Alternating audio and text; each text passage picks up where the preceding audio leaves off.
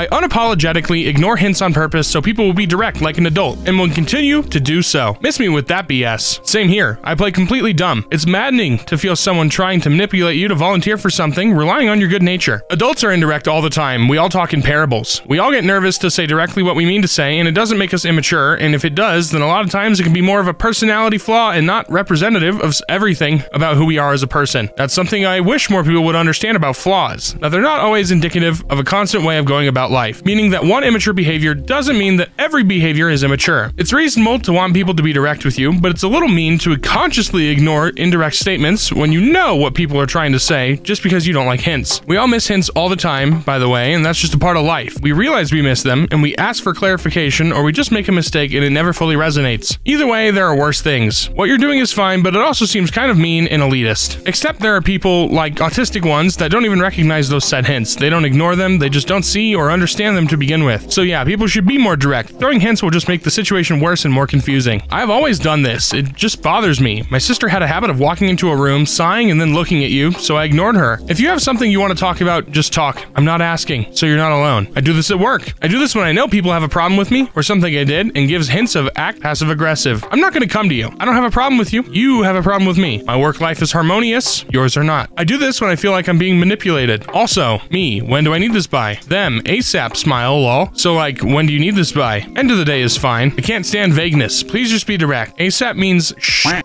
when I have other priorities. Secretly leaving money. My friends are a young couple with a young baby. Money was already tight, and dude lost his job today. I was at their house today, and when they didn't see, I took 50 from my wallet and left it in a place where one of them will find it, and I think, oh cool, I must have forgotten about this. I'll emulate you. That action is worth emulating. I did this with my father after my mom moved out. He worked his off and barely held himself. Me and my brother housed and fed. I started hustling a little bit to make some extra cash for myself, but would hide money in his pocket, car, etc. when I could. I will never forget the face he had when he came home with three steaks for dinner and a rental DVD after he found $100 in a winter coat. He was so happy to finally get us something extra. Best steak I ever had. Another thing to help out could be to take note of what diapers they use for their kid and pick some up when you're at the shops next with a, I was at the shop and figured you need these. It's simple and sweet gesture that would probably mean a lot to them. That's really great. Even if they know it's not theirs, they still won't know for certain who left it there. Faith in humanity is slightly restored. You're a great friend. The world needs more people like you. When I was broke, I always fantasized that my friends would do that someday, and as far as I know, they never did. Maybe they were too good at it. Sometimes when I shower, I like to turn the water a bit cold, sit down, and pretend I'm a frog in rain. Sounds fun. Gonna try it next time. Tried this, and it was so relaxing. I wish I was always a frog. Thanks for sharing. This is pretty cute, and also a little strange and embarrassing. Perfect confession, 10 out of 10. I like to put YouTube videos on. Rain on a tent is my fave. Close my eyes and pretend I'm there. Every response to this is liberating. We are all human beings who just want to sit quietly under the shower, pretending we are little moist froggies sitting on a leaf during the tropical monsoon. Thank you, friends. I like to pretend I'm a duck stomping in the rain. I'll give the frog thing a go. Saw a completely different side of the guy I'm dating. My date. He always seems like a calm, composed, focused, serious kind of person. He doesn't post much on social media, doesn't have a large friend circle, doesn't talk too much. A kind of guy you'd think works for some super secret services. We've been on a couple casual dates and he spends good time with me and opens up a little, but I always feel like there is so much that I don't know about him. So this happened yesterday after our third meetup. We went to grab dinner. He wanted to drop me off at my place in his car, but I insisted him to walk me off as the place is pretty close to my apartment. We were walking down the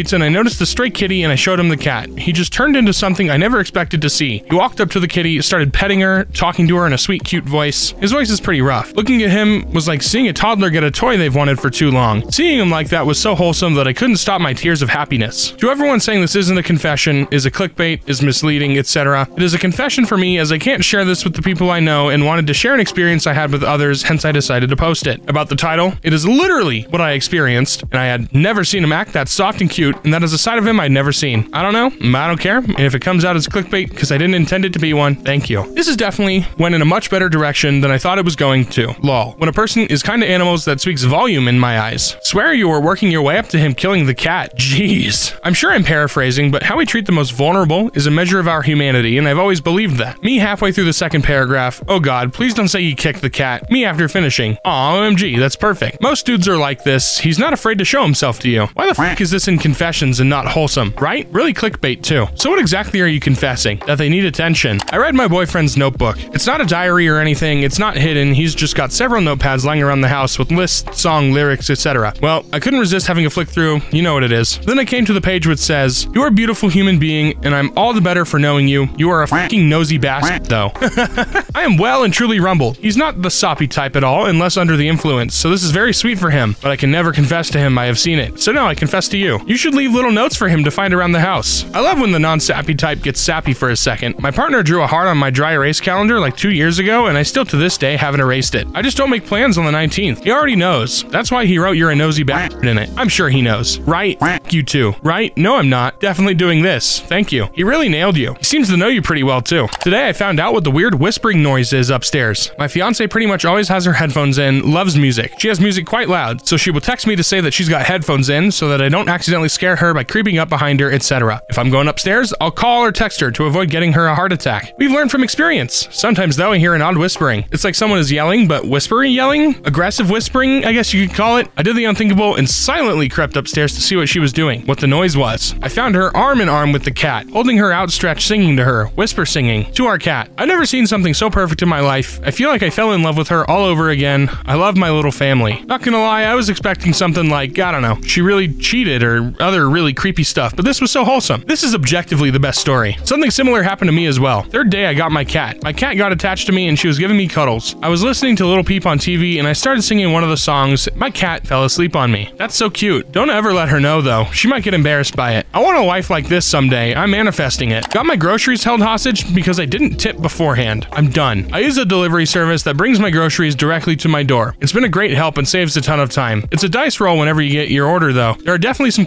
questionable people doing deliveries and I've had a couple bad experiences so for that reason, I choose not to tip until after the service is complete. I tip anywhere from 10 to 15%. I think that's reasonable and fair. I usually tip more if I order heavy items like soda or bottled water. Really, I don't think tipping should exist at all. I can't tell you how annoyed I get when I have an iPad shoved in my face by cashiers, people handing you your to go order, and even the freaking guy that fixed our air conditioning. It's presumptuous and rude. You're getting put in this awkward position where you're expected to subsidize the wages of people who've done the bare minimum in order to fulfill the service I've already paid for. Tips used to be reserved for people that went out of the way to do a great job. Anyway, I opened the door today to a lady with no groceries in hand who instead greeted me abruptly asking if I'm planning on leaving a tip. I told her I tip based on the service I receive, which means I have to tip after she finishes the delivery. This woman loudly sucks her teeth and tells me I'm not getting my order until I give a tip. She's very adamant that I tip her in cash, and I asked her to deliver my groceries first, and she flat out refuses. I just stare at her in shock. We stand in silence awkwardly until I told her that I've already paid for my order and it's her job to make sure I get it, regardless of what I tip. Before I can even finish my sentence, this lady walks away, shuts her trunk, and drives off. I spent the next half an hour being bounced around from person to person on the customer service chat, only to be told that I had to call in to resolve the problem. One disgruntled phone call later, and I finally got my refund and my driver reported. I'm done with tipping. I'm so tired of being guilted into paying on top of an already expensive bill just because the owners don't want to pay their workers a decent living. You can call me selfish or rude, but I'm past the point of being moved by social pressure to tip. From now on, I'll be discontinuing all tips. It's not fair to the customer or the employee. It relies on guilt and preys on people's fear of social awkwardness in order to fleece us. We should not be worrying that an employee won't deliver our order or spit in our food if we dare not tip. Prices go up, fine. I want to know exactly what I'm paying for something. No more, not mandatory, but actually mandatory gratuity. If enough of us do it, tipped employees will be motivated to demand compensation from the people who actually should be paying. It's not the customer's responsibility to pay your staff. Damn. Whatever the opinion on tipping or not tipping is, absolutely no way on earth should you have not received the order. This is just straight up the woman not doing the job she gets paid to do. Kroger delivery is awesome and they don't accept tips. They come to the door in a ref- refrigerated box truck. All of my groceries have been fresh and delivered without issue. It's not even funny how right you are and how ridiculous tipping has gotten in the US. 100% agreed. Tips must be earned and shouldn't be standard. Business owners are just taking advantage of workers and customer with this predatory practice. Peace. I had a waitress yank my bill out of my hand to compare with the card terminal receipt. When she saw the numbers were the same, she scoffed at me and threw both slips of paper at me and then walked away. No, I didn't tip her because she got our orders wrong and never checked in with our table. But she visited every other table around us. This was not a teenager either. She was very much a senior. For reference, wait staff here are still paid at least minimum wage, and tipping is above and beyond. Should I ask my math teacher to adopt me? This might be kind of confusing story, and I debated posting this but decided why not. So I am 15 and my math teacher, who I will call V, F35, and her husband is M40. My real parents are, or were, abusive alcoholics and drug addicts. They got arrested last year and was going to enter the foster system, and now I had already told V about my struggles with my parents, and I confided in her about me going into foster foster care, so I guess she jumped in and her and her husband somehow became my foster parents. I absolutely love living with them and I feel like I have true family for the first time in what feels like forever. I really want to ask them to adopt me, but I'm unsure of it. For one thing, I'm incredibly nervous and very unconfrontational. And second, I know the foster system gives people money to take care of the child, so maybe they would be better off just staying foster parents. Also, they already make quite a bit, as my foster dad is a doctor. I just don't know what to do. Can anyone please give me advice? Even if you don't want to straight up ask them to adopt you, just telling them this, I absolutely love living with them, and I feel like I have true family for the first time in what feels like forever, is going to mean the world to them. Kid, you made a grown man cry. I'm so happy for you that you've been shown so much love that you want them to be your parents. Tell them. They might not be able to for a various amount of reasons, but they'll appreciate it so much. Whether they can adopt you or not, I have a feeling that they'll be with you for life. Math teacher here who adopted a 15 year old student of mine. 10 out of 10 would recommend. That was 16 years ago, and she's getting married in September. One of my closest sisters isn't blood related. She was our babysitter, and her parents died in a fire. She became a ward of the state and lived with us all through college. My parents never adopted her, and while I'm not sure why, there are many variables, it doesn't matter. She's my sister. My mom introduces her to people as her daughter. My point is, no matter what happens, it doesn't define who your family is or who loves you. Your foster parents sound like amazing people who have shown they're there for you. Good luck, OP.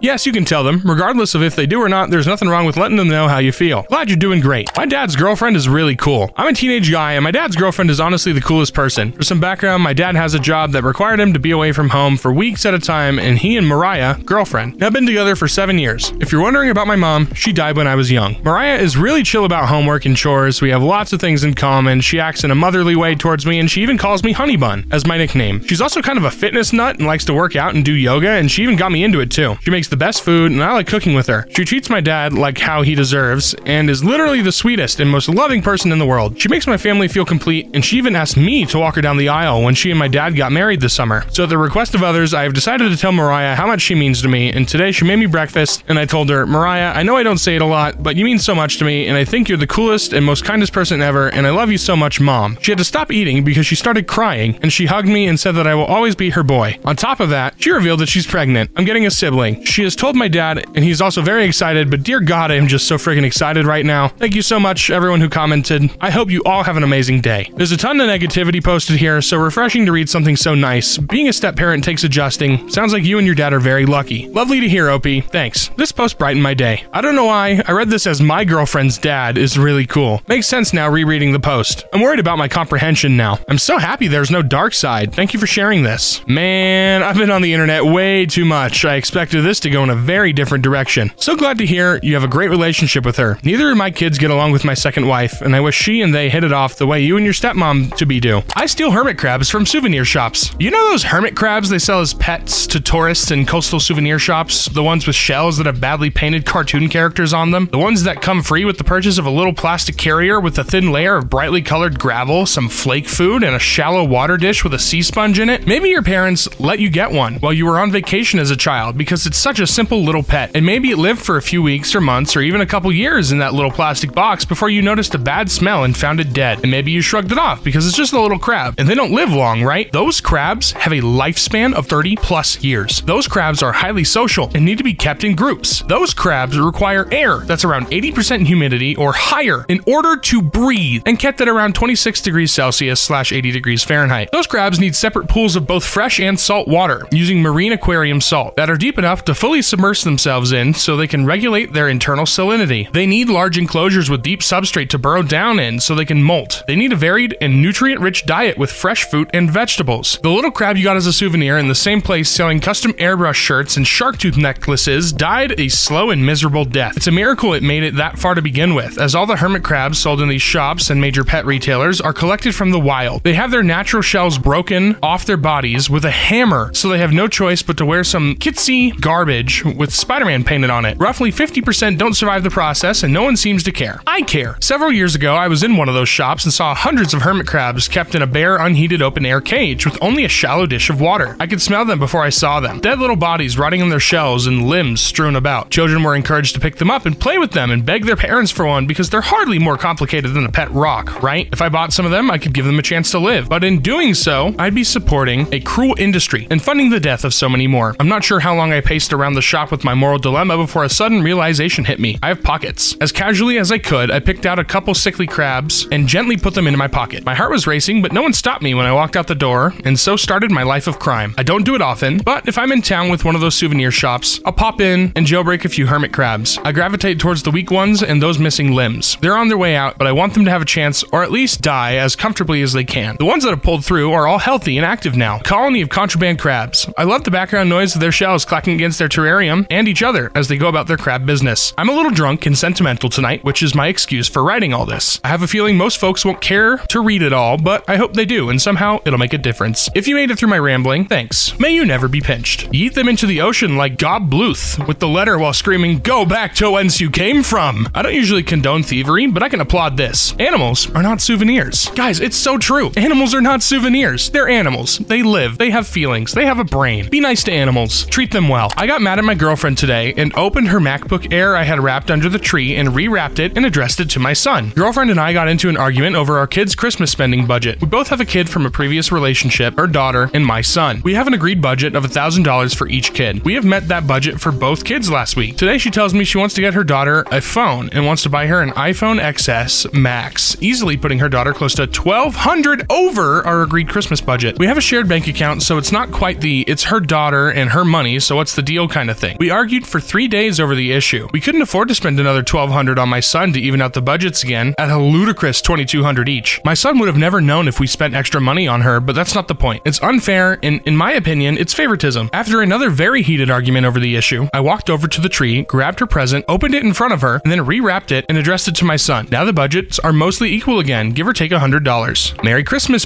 P.S. The MacBook was purchased on my personal credit card, so she wouldn't have known about it. A classic Christmas tale. Is a $1,000 budget for one person's Christmas presents not insane to anyone else? Yeah, it kind of is. I feel like when I was growing up, the most luscious and ludicrous thing I got for Christmas was like the Nintendo DS, which was what, like $150? If that? so, sheesh. Good, good for them, I guess. I stole my son's teacher's keys. My son has Asperger's, which is like autism light. We've done extensive therapy and intervention, and for the most part, he is no different than any other kid his age, except he comes across as shy and a bit nerdy, saying that with love. The only issue we had at school was that he would become overwhelmed, panic, and run out of the classroom. Of course, that is not okay, and we in school decided to allow him to take quick breaks to decompress when he starts feeling overwhelmed. He has not had an incident since third grade. He started the sixth grade last year, and it's hard for any kid, especially for an Aspie's kid. We met with all of his teachers and reminded them that he has this accommodation in writing, and he will likely need to use it since middle school is tough for an Aspie kid. All but one of his teachers understood that and were supportive. His math teacher is just a nasty bitch.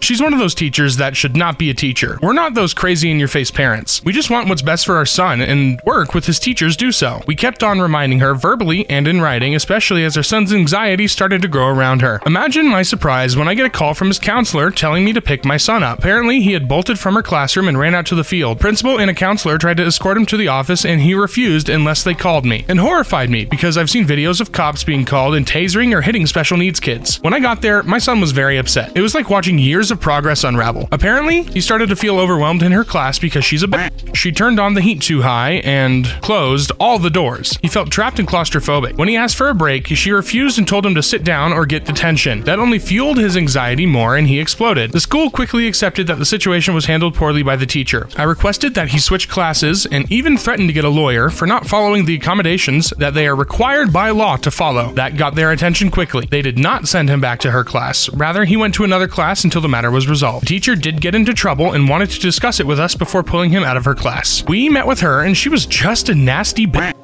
She accused our son of using his diagnosis as a crutch and he needed to grow up. I wanted to slap her. She went to take a phone call and I saw her keys on her desk. I put them in my pocket and we finished our conversation and I politely thanked her for her time. Then I threw her keys in a dumpster and got my son pulled out of her class the next day. That made my day, lol. Look, I don't condone I go I don't condone stealing. But but if you if you got a if you got a bad teacher who's gonna who's gonna do that to your to your son, revenge is a dish best served sweet. I'll just leave it at that. Something scared me and my brother really bad when we were younger and I'm just now remembering the details. We were watching one of the Garfield movies. I can't remember off the top of my head, and everything was well until the I Feel Good song by James Brown started playing in the movie. Now, you may ask, what could have scared you so bad from a song like that? Well, I'll tell you. In the beginning of the song, James Brown does this sort of scream, I guess you could say. Well, me and my brother had no idea that it was part of the song, and we thought the scream came from somewhere in our room. After hearing the scream, we immediately ran to our parents' room and told them that we heard someone scream from inside our room. So my father jumps up and grabs a knife from the kitchen and walks into our room to find nothing in there. So now everyone everyone in the house thinks there's an intruder, so we all go lock ourselves in my parents' bedroom and call the police. Police show up and find nothing. I was watching the movie with my niece the other day and heard that familiar scream and realized that it was only the movie and we'd had called the police for no reason at all. Wow, I feel good. Pack the frickin' bags, Karen. The place is haunted. That's really good.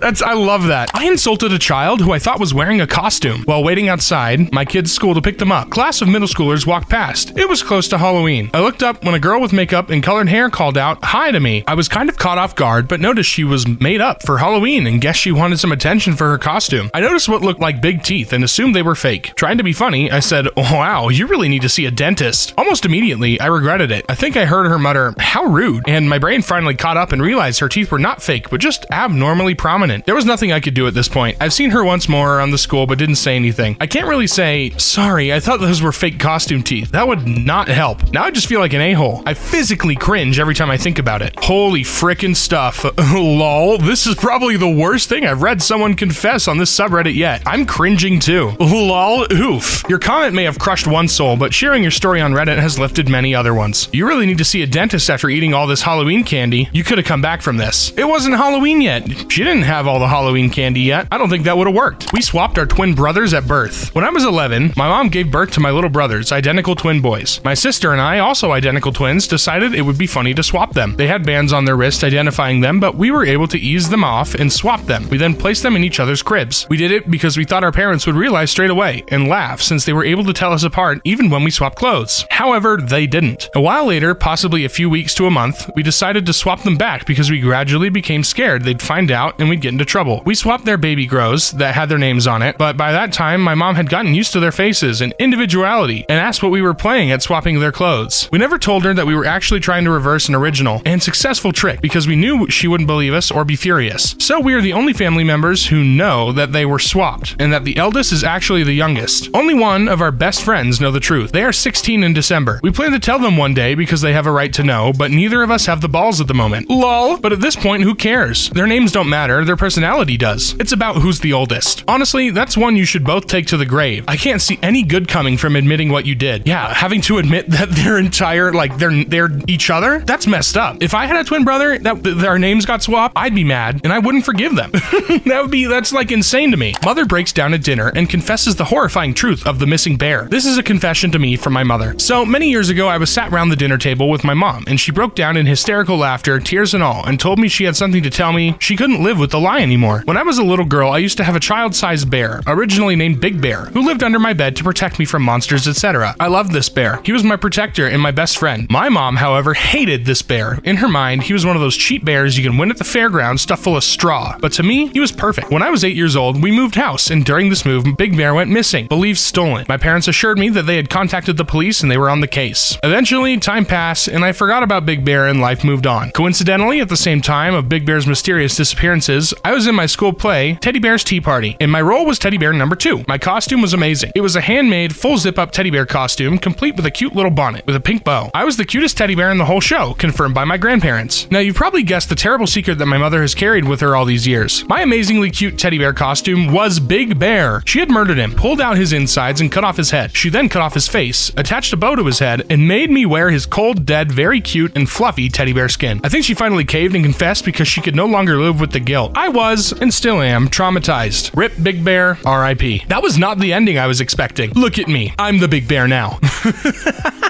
that is morbid. That's crazy. I actually, like, yeah, it was a complete plot twist. I have literally done nothing at work for a decade. I have a great job in Canada doing data entry and analytics. I would prefer not to give the field of work as it's fairly specific. 70k a year, benefits, whole nine yards, really awesome. The confession is that all my info was pulled from standard Excel files made by other people. In my first month, I made a macro that pulls from 50 plus places on our shared drive and compiles a five page report daily. The email sends itself at random times around 2.30 every day, Monday through Friday. Everyone thinks I'm amazing at my job. I'm the laziest fork you'll ever meet. I'm almost done getting a VPN function approved that will allow me to work from home. When you eventually leave slash retire, will you reveal your secret? Teach me.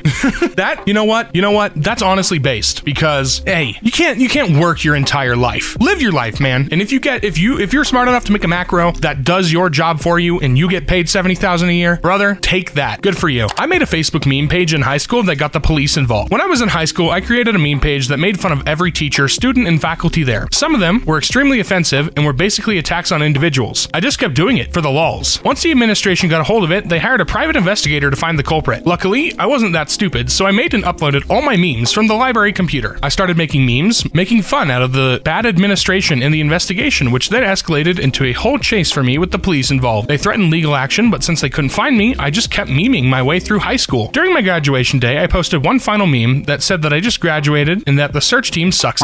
I think at that point, they had an idea it was me, but they never proved it. It feels good to finally let it out. Haha, I never told anyone. Had a fear for snitches. Kid at my high school did something very similar right when memes originally became popular, but was eventually caught and expelled. A cheap camera in the library could have solved this pretty quick. I'm pretty sure they could have easily tracked it by computer and time it was posted. I slapped a child in the face and then shoved him off his scooter. I'm 25. So I have a beloved kitty named Pixie. She was around four when I found her on the street. She had a rubber band tightened on half her tail. I spent two weeks feeding her until she was comfortable enough to let me near her. She didn't trust anyone. I took her in, cleaned her up, and got the dead portion of her tail amputated. After five years, she finally warmed up to people, and she became so sweet and friendly. It took her years to be comfortable around strangers. Last month, she was out for her daily stroll around the neighborhood and immediately came back in through the kitty door 20 minutes later. Usually, she is out and about for two to three hours. She had two small holes in her chest and one near her butt. She was completely frightened and was crying slash meowing. She wouldn't even let me go near her for the first five minutes. I knew for certain that she was shot with metal BBs. I take her in my car and start driving to the vet, but took a quick detour around the neighborhood. I was going to take the long way to see if I could find the culprit. Sure enough, I see a kid on a scooter standing in his driveway with a CO2 powered BB gun, aiming in the drainage cavity by the sidewalk. I see cats in there all the time. It was then I knew who the culprit was. I parked the car, got out, walked over to him, and said, I'm telling your parents that you're shooting cats. He replied, They are pests. They told me I could. The smug little look on his face threw me over the edge. I slapped the frick out of this bee and kick sweeped his legs out from under him and watched him fall flat on his ass. Then I picked up his gun and smashed it on the ground. A small part of me wanted to finish him off with a stomach kick for good measure, but I'm freaking 25. So I looked both ways before crossing the street and bolted. As I hopped in my car and sped away, I heard him shrieking in the distance. My kitty was treated and is doing okay. She is a lot more skittish and spends less time outside. They told me I could. Well, frick them too. My 26M wife, 29F, just came out to me as a lesbian, and I'm not in the slightest okay with it. We've been together for about five years, but we were friends before that, and I've pretty much been living a lie. I've seen for the first time in years what she looks like when she's actually happy and not faking it. That just feels like a punch in my stomach. Last time I saw her like this was back in the early stages of our relationship. I've been falling deeper in love with her every day that we were together, and we had a beautiful son, and now everything's all over the place. I can't really just up and leave to go process all this because of my son, but I can't stand being here and seeing her every other day. I mean, I've been pretending everything is okay, but every time I see her, I want to scream until my head explodes. We agreed to get a divorce early next month and have already agreed to share custody. She seems to be happy that she's finally herself, and it just pisses me off that I'm the one that has to pretend now so that things stay smooth. Hypocritical of me, yes, but I'm only human, and I can't really lie to myself until I believe that I'm not angry. I really don't want to be an absent father, but I also would prefer not interacting with her for some time until I can properly deal with my anger towards her, because I know that if I keep pretending everything's fine, my mental state's only going to get worse. You're allowed to have feelings, man. You're allowed to be angry, frustrated, and disappointed. You can feel all those things and be a decent human being. Your feelings are valid. Is there somewhere you can stay so that you can get some distance to grieve your relationship? Do you have a supportive friend or family that can help custody transitions so that you don't have to see her? As top comment said, let yourself grieve, brother. What you went through is nothing short of exhausting and tiring. Take your time and don't feel guilty about your feelings. Dude, just because someone comes out doesn't make them immune to hurting people. It's alright that you feel this way, and I'm so sorry that you find yourself in this situation. If you can, I would suggest distancing from her, if at all possible, and getting divorced ASAP. This isn't a healthy environment for you, and you are worthy of love, affection, and respect. Also, find communities to support you, maybe a church, therapy group, online mentors, etc. But you need community and support through this. You can't carry this alone. Just know that it won't always be like this. Joe Rogan is not a good interviewer, and his podcast is not analysis. Popular with the unaffiliated voters, Joe Rogan's interviews are full, personal, unsubstantiated opinions and commentary. His interviews push his own opinions, and he doesn't push back against interviewees with correct or pertinent data, only ever his own thoughts. Listening to Joe Rogan is not the same as analyzing an issue, and it is certainly not a rigorous platform for testing ideas. It's irresponsible of him to conduct interviews this way, but that's probably why he's so popular. I'm just here for the comments. I like listening to his podcast, but I don't agree with his standpoint on everything. My biggest pet peeve with him is that he believes pretty much every article he reads on the internet, and then he takes some moral high ground stance that relies on the article's information. So yeah, I like listening to him, but I also think when people say he spreads misinformation that they are correct. As with the media, Joe Rogan, anyone. It's all fun and interesting until they start talking about something you have vast knowledge of, and then you realize that they're idiots. He's not an interviewer. He makes a conversation with the host. He is not there to analyze and makes an uncomfortable question. I don't necessarily think it's even put forward that way. He's just hanging out, so chill. Tried to warn a girl at my gym. I tried to warn a girl at my gym that had period stains on the back of her shorts, and she went on a rant saying that she was working out and OMG and trying to make fun of me in front of everyone for being weird. So I announced the entire gym that she was staining the equipment with her period blood and that she needed to wash and clean herself immediately. I've never seen her since. I know it was probably really petty, and I got a lot of shit from people for doing that, but honestly,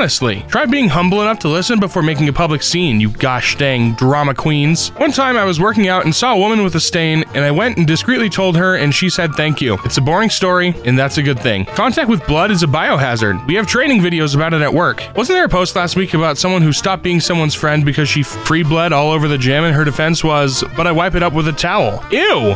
What? Gross! As a woman, I would have been thankful. Been there, it's embarrassing when you realize and wonder how long you've been walking around like that. Once I was at a bar and I noticed a girl walk out of the ladies' room with a five foot long stream of toilet paper following her that stuck to the bottom of her shoe. I saw some people pointing and laughing at her, so I walked over to her and tried to discreetly tell her about the toilet paper. She reached down and pulled the toilet paper off and screamed, F you at me. I guess no good deed goes unpunished sometimes. Uh, excuse me, you have. I have a boyfriend! I'm sick of nobody knowing about this. Right, the other day I walked into a pub for the first time in ages. The gust of wind caused by me opening the door caused two receipts to fly off the bar straight at me. They flew either side of me in an act of astounding coordination, dexterity, and raw speed. I caught one in each hand simultaneously and slapped them both down on the bar in triumph. Astounding reflexes, cat like agility, never to be repeated, and nobody saw or gave a shit. People need to know. Edit Marvel had just contacted me about a possible film franchise. I was the only person in my crowded middle school gym that saw a kid toss his empty plastic bottle towards a garbage can, only to have it land and balance on the rim. He looked around excitedly to see if anyone else saw it, and our eyes met from what seemed like a mile away when you're 12. Never knew that kid's name or even talked to him, but I think about him often. I hope you got a free pint out of that. I didn't even get finger guns, mate. One time in a study hall in high school, a friend right across the table from me threw a pen at my face. I caught it in the air an inch away from my face with some once in a lifetime reflexes and then wrote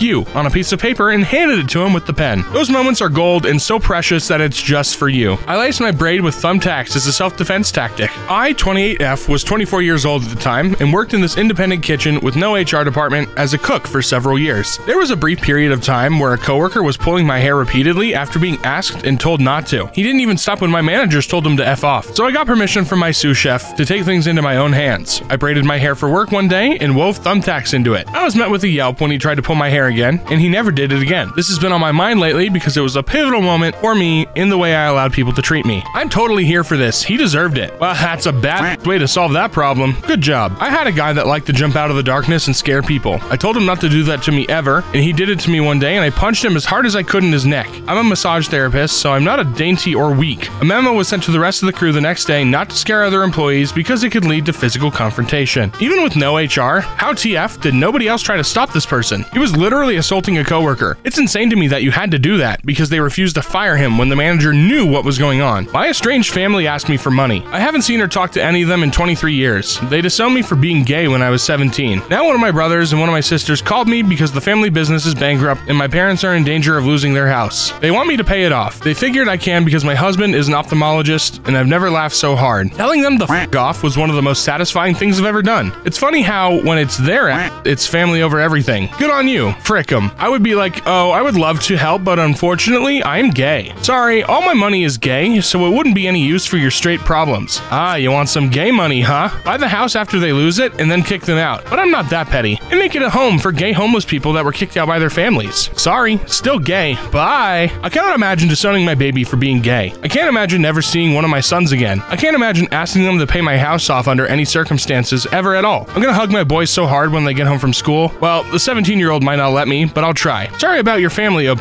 Glad you made a nice life for yourself. It's pathetic how differently I'm treated when I'm attractive. I'm a 24 year old man. In my late teens and very early 20s, I made some money as a male model, but due to mental health issues and a string of awful relationships, I put on a significant amount of weight. The way people started treating me differently was staggering. No one cared about what I had to say, and people treated me like being fat or chubby was the most significant aspect about me. I've gradually started losing the weight, and now it is showing. It is blatantly obvious how differently I'm treated. People look at me more, smile more, give me more stuff, go out of their way to help me, and are overall more attentive what I have to say. People also seem to be more scared about confronting me, but that may be because I'm more muscular now. I understand when it is a stranger, but my own family treats me like this. Particularly two female cousins and one aunt. It's like now I'm everything to them, and they want to know how I'm doing. Yep. Growing up, I learned this quickly because there's a huge switch in the way you're treated on days you do your hair and makeup and days you don't. Beauty discrimination is very much real. I experienced something similar. I used to be pretty skinny, fairly conventionally attractive, and put on some weight during a major depressive episode. I immediately noticed a difference in the way people treated me, and it really sucked to realize just how shallow most people are, even some in my family. I lost 150 pounds, and the difference in the way people have treated me due to my weight loss has made me struggle with an eating disorder. The thought of going back to being fat doesn't bother or worry me, but going back to the way people treated me when I was fat is terrifying. Who would you say had the more noticeable attitude adjustments? Men or women, strangers or friends? When I became hot again, women went from uninterested to friendly and flirty. Men went from bullying and condescending to respectful and friendly. Strangers just stare more and smile more. Family, I am ashamed to say, had the biggest change. They just want to spend time with me now. It's the same if you come into money. Funny how attitude can change even from people you've known for decades. Suddenly, my in laws like me and compliment everything about my appearance and home. Keeping track of the pronouns in my teen social group is exhausting. To start, let me say that my husband and I do not care about our children's or their friends' gender identities beyond a deep desire to respect the young people in our lives and create a supportive and positive environment for them. We are both queer, we understand how hard navigating adolescence can be, and we want to make sure our home is accepting and welcoming to everyone who steps foot in our door. Our daughter's friends go through frequent pronoun changes. Often, each time I see one of these kids, they will be using a different set of pronouns and a new name, and I cannot for the life of me keep it all straight. Our relationship with her friends is cordial, and that's about it, which honestly I feel is appropriate. I'm not a teenager, and so beyond exchanging pleasantries, providing snacks, and offering a ride home, they are not a big part of my life. I would honestly struggle to remember their names if they weren't changing regularly. But every time I get it wrong, my daughter gets incredibly offended on their behalf, and I'm trying so hard, but it is just exhausting. Questioning who you are at this age is developmentally appropriate, and I don't begrudge them for that, but I also can't wait till her social group settles into a more long lasting identity. For now, I'm just apologizing frequently and baking a lot of cookies. You could just start calling them by hair color, piercing, shirt color of the day, hey red shirt, hey green hair, hey platform boots. My 12 year old daughter's friend group is this way, and it is definitely exhausting. I call them all hun or kiddo or something equally generic. Being in the medical field, I have just learned not to use pronouns mostly because I can't remember my patient's name to begin with, so everyone gets called lamb chop, sweetie, or love bug. Only if they're older or senile, though. I'm not about to call a big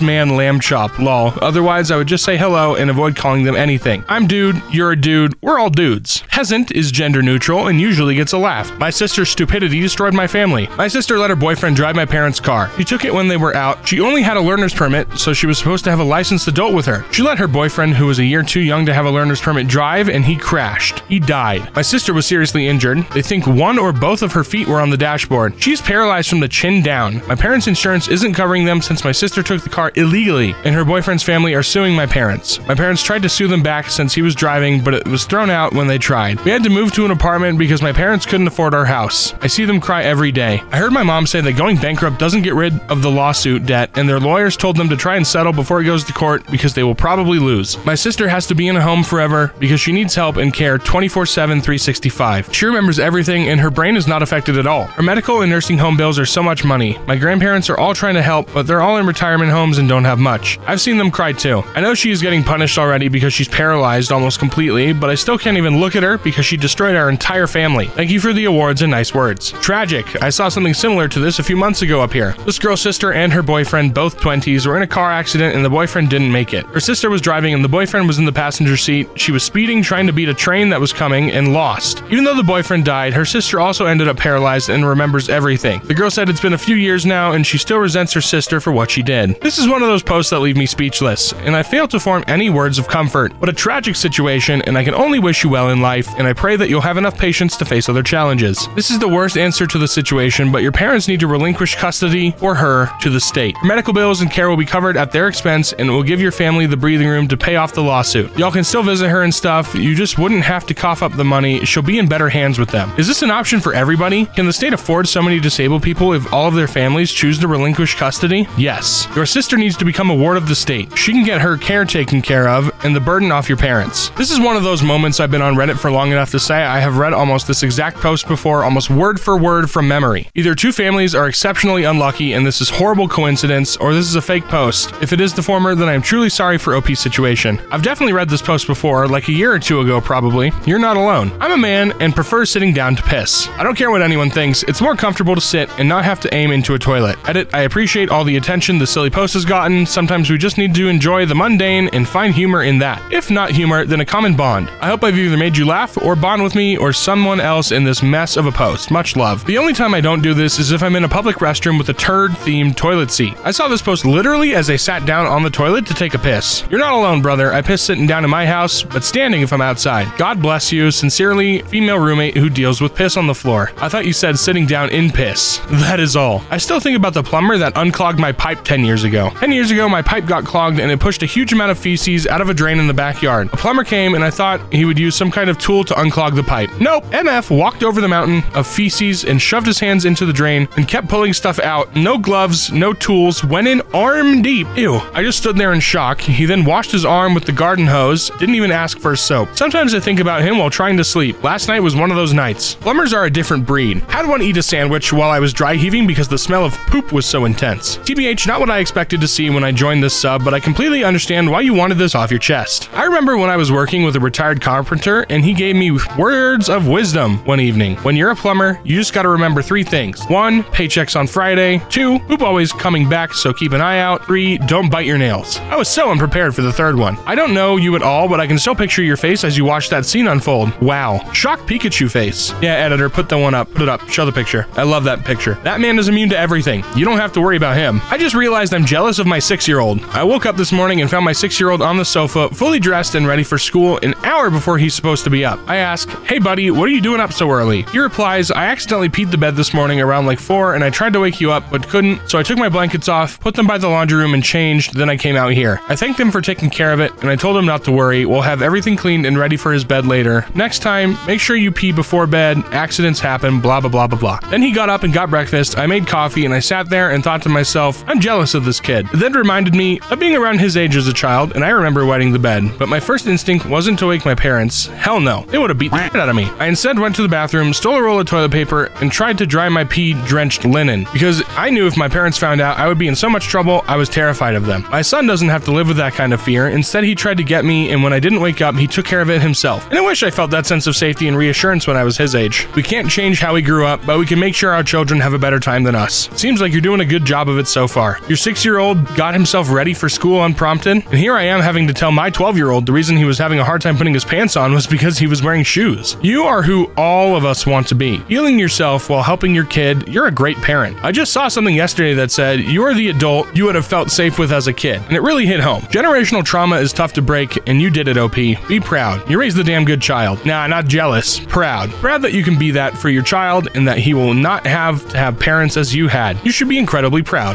To the guy who hit my dog with your car, thank you. Thank you for staying with him. Thank you for holding him and caring. I wish I could have gotten your name and number so I could call and tell you that he is okay. I could see the look of sorrow and remorse when I came up to you, and I want you to know it wasn't your fault. From the amount of blood coming from his paws and legs that I got on me taking him to the vet, I can only imagine how much you got on you while you held him. There are far too many times where a pet does not survive, and I got extremely lucky, and who knows if he would have gotten hit again if you had just kept on driving. So thank you for being a good person. When I was a kid, an older gentleman hit our family dog with his truck. He knocked on our door, and we were the only house for about a mile, so he correctly assumed she was ours. He offered to come with us to the vet's office, but we told him it was okay and we'd take her. He got back in his truck, looking like he was going to start crying. I wish he had come with us because she ended up being fine. Some poor guy is out there thinking he killed a family dog. I clicked on this post expecting it to go to a very different direction. Was pleasantly surprised and chopping onions apparently. Glad your boy is okay. Give him lots of loves. Can't even begin to understand what the driver went through. I would have been distraught. You're a good person for not going off on one on this driver. He's a good person for stopping. Accidents happen and it could have been a lot worse and glad it wasn't. That's a class act. I've seen two dogs hit by cars and both times the driver sped off. In either case, I wouldn't have been mad if they had stopped, even though one of them was very much the driver's fault. Hope your dog is okay. My German Shepherd I had as a kid was told she would barely be able to walk for the rest of her life, but she was running full speed later that year and lived another 12 more after that. I'm so sorry that happened, but thank you for sharing. What is your puppy's name? A guy hit my dog once and his car got damaged. He sued us for it. Yeesh. Sometimes I'm silenced by the things my daughter says back to me. I, 40M, told my 17 year old daughter she's not allowed to be alone on dates with her 18 year old boyfriend because I know teens sneak to have sex if left unchaperoned. She says, You know, there's lunch breaks at school, right? And bathrooms and bleachers, right? You can follow me around if you want. It's not like it's gonna stop anything. I was mad, but I didn't even have a response because, Damn, girl. She's not wrong. At the end of the day, she's gonna do what she wants, keep an open line of communication, and teach her to be safe. She isn't even remotely wrong. Parents have been trying to prevent teenagers from having sex since literally the dawn of time. You honestly think they can't find the opportunity to do it outside of dates? It's more logical to give them access to protection than it is to try and stop them. Promote safe sex at this point. She's 17. Or piss her off and push her away by trying to control what most people that age are getting into. I let a girl sleep alone in my bed, and she said it was the nicest thing anyone's ever done for her. 17M had girl over 17F, and she was spending the night. It eventually got to the point where we had to figure out who was sleeping where. I didn't want her to feel pressured into sleeping with me. If she would have given me a signal, a thousand percent would have done it. I told her, I don't want you to feel obligated into anything. You can sleep on my bed. I'll sleep on the couch. She kind of had a confused reaction and said, okay. I wake up the next morning and I go to check on her, and in a choked up voice, she says something like, What you did last night was the nicest thing anyone's ever done for me. And she leans in to hug me. Kind of left me feeling weird because it's a bare minimum thing to not pressure someone into that, but at the same time, being told that felt really great. Maybe things work out with this girl. I sure hope they do. At it, she invited me over. To make a long story short, I got what was probably the best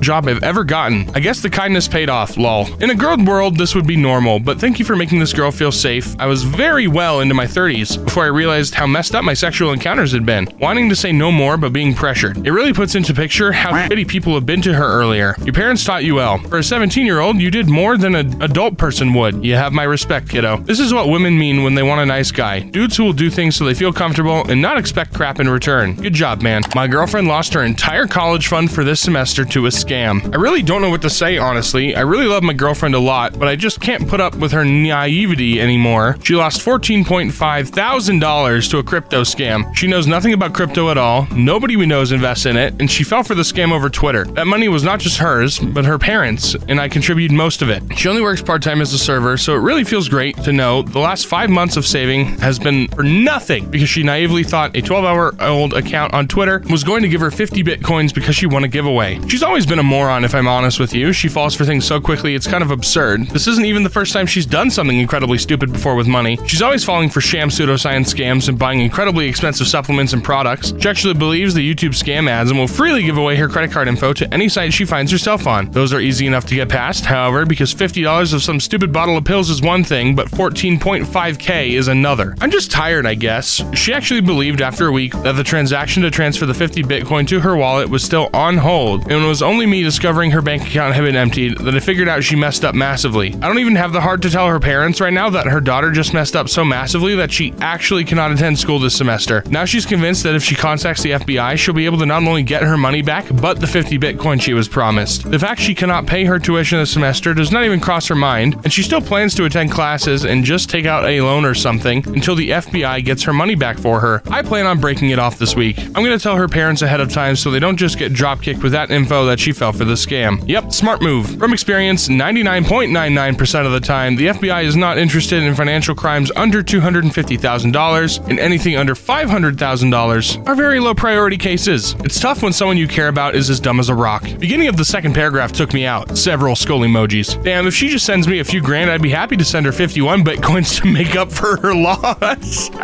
Yikes. I can understand not willing to devote yourself to constant financial hardships due to her lack of financial intelligence. That's a headache for years to come. She's always been a moron, if I'm honest with you. Romance isn't dead. I'm quitting my reasonable, well paid job in finance to buy a burger joint. Throw away. I work for a bank in risk management. I get paid well, do little work, and have great benefits. I hate it. I've always hated it. My life is a constant cycle of being relaxed, f***ing off most of the time while getting paid, and I absolutely dread the occasional deadlines I have. I'm just a cog in a multi billion dollar global banking machine. I love to feed people, I love to cook. I was happiest busting my ass working a grill and managing staff when I worked in food service and catering in college. I would happily work 20 hours feeding people over four hours of this dreadful, pointless monkey work at a bank. My wife and I have enough money to open the business and build it more. It's well positioned with a lot of great development nearby, and because of the pandemic, is essentially being sold at cost. It's pretty much turnkey. If I told my coworkers, they would say I'm absolutely crazy, and I'm pretty sure I am. I will most certainly make far less than I do now, with far more work expected of me. But I would much rather own something, be in charge, and deliver smiles in full belly. Nothing makes me happier than being in a kitchen, but I'm also 35 and I have a little time on my hands to take a risk. Nobody's ever told me leaving a lucrative career for food services is smart in any way. It's not. And I get this. I'm certain this is going to fail, or at least not be worth the effort, but I'm doing it anyways and accepting the calculated risk. I'm scared I won't see my wife and son as much, and I'm scared I'll be a poor business owner, and I'm scared I'll lose respect in my social circles in the business community. But I'm doing it anyway. I'm doing it. My wife supports me, and we're stable financially, which is a blessing beyond blessings. And it's time to do something I feel passion for. It's time to or get off the pot. Happiness is the new rich. Follow your dreams, Bob, and tell Linda I said hello. I've tried my best for many years to avoid my calling as a classical pianist. I know exactly how you feel. I would pursue a hobby instead. Have a long, hard look at what you have right now. I'm going to guesstimate a house, a car, and a load of